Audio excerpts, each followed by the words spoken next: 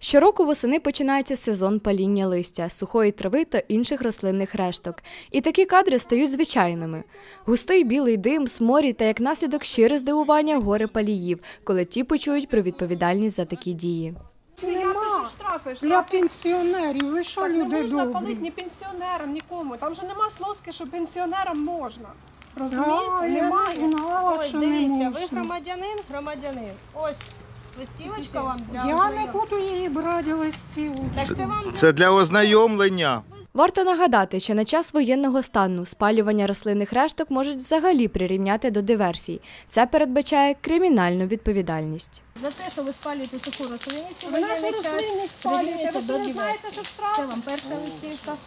За те, що А тут горіло ось два дня назад. Ніхто не приїхав, не тушить нічого. ми огорода вигоріло, я з лопати ходив, тушив. Однак забруднювачі атмосфери не надто переймаються наслідками своїх діянь.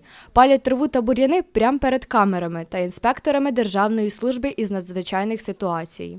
Про штрафи не чули і кажуть, що таких грошей взагалі ніколи в руках не тримали та платити не збираються. А ви знаєте, що штрафи за це? Не знаю. То ми вам кажемо, штрафи на сьогоднішній день складає мінімальний штраф 3060 гривень. У мене таких я пенсіонерка, я навіть Ну, таких грошей пенсіонерам не це ж не, це ж не пом'якшувальна обставина. Палити не можна А хто нікому. вам це, це? Не можна палити. Ми ж побачили з дрона, те, що у вас дим іде тут.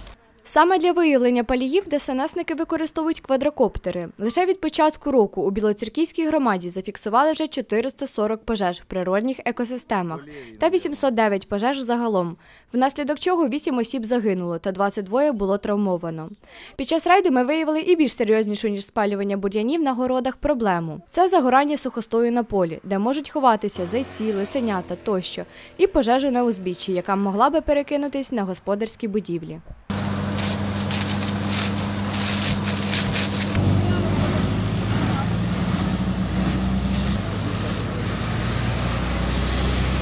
Нагадуємо, що не допускається спалювання промислових та побутових відходів, які є джерелом забруднення атмосферного повітря або іншого шкідливого впливу на території підприємств, установ, організацій та населених пунктів, що ж конкретно загрожує паліям трави. По-перше, за такі дії запроваджені штрафи.